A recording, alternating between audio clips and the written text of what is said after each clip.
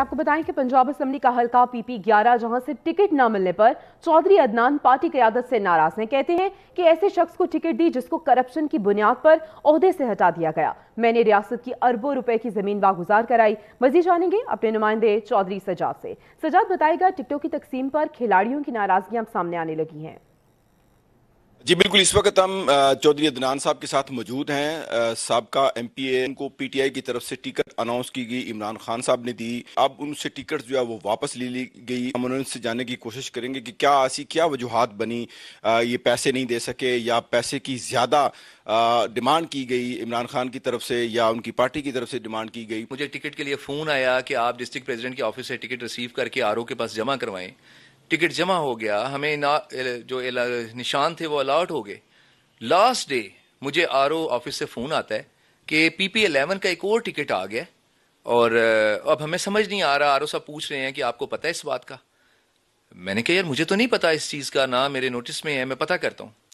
मैंने ऊपर अपने सीनियर लीडरशिप से बात की तो कहने लगे, नहीं, आपका तो रिव्यू में है ही नहीं था कि रिव्यू केस तो आ रहे हैं, आपका तो रिव्यू में भी नहीं था तो कैसे हुआ? मैंने कहा, जी, आप देख लें।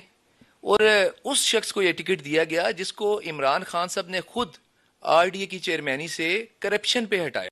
और फिर ये कहा गया जी कि ये जो डिसीज़न है, वो जो पार्टी के कुछ सीनियर लोग हैं, उनका है और रिव्यू में गया है केस जबकि मेरा रिव्यू में भी केस नहीं गया था। मैंने कंपेन भी शुरू कर दी, जलसे हमारे बहुत बड़े हुए।